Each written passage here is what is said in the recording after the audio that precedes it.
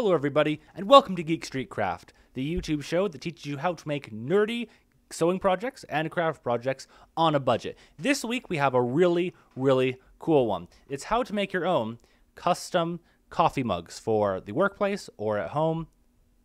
This one still smells like a French vanilla latte because I brought it to work with me today. I know. Oh, oh, smell it. Smell it.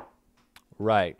Well, this craft uh, definitely is easy and it is cheap. You start off with these mugs here. Uh, we got this at a dollar store for 96 cents, which doesn't make sense, Jacqueline. It's a dollar store. Why was it 96 cents, Jacqueline? They're lying in their advertising. You start with these, and with a few permanent markers and an oven, you can have your very own cup. Can I have that one back? Yes, it smells amazing, which is why I want it. This is the symbol for the Black Mesa Science Facility from the game Half-Life. Um, they're all over the desks there. Uh, if you've played the game, you know that they're, they're you can interact with just about anything. So it's really fun to grab these off the desk and throw them around, and the scientists are all like, "Gordon, put down my mug." But then you don't, and you throw it at their faces.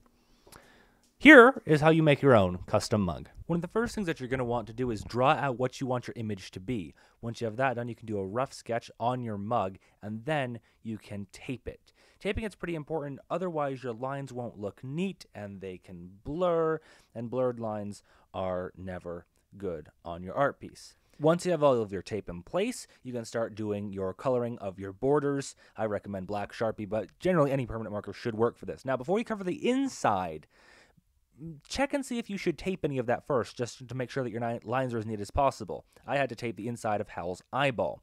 Then you can finish coloring it. It should take you about close to an hour if you're doing it right. Then it's time for you to do the baking. Now, the baking has some pretty important steps. One, you need to take the tape off before you put it in the oven. That's really, really important. Otherwise, you get gluey, sticky cup and throw cup away. It's, it's not good. Don't do it. Once you have got your oven and your colored but tape free mug, you need to put it into the cold oven, set it to bake at 420, and then let it get up to temperature. Once it's at temperature and your oven goes beep, you need to leave it there for 20 minutes. Otherwise, bad things happen. Keep it there for 20 minutes. Then, after 20 minutes, turn your oven off and let it come back down to temperature. And you should have a completed cooled off mug.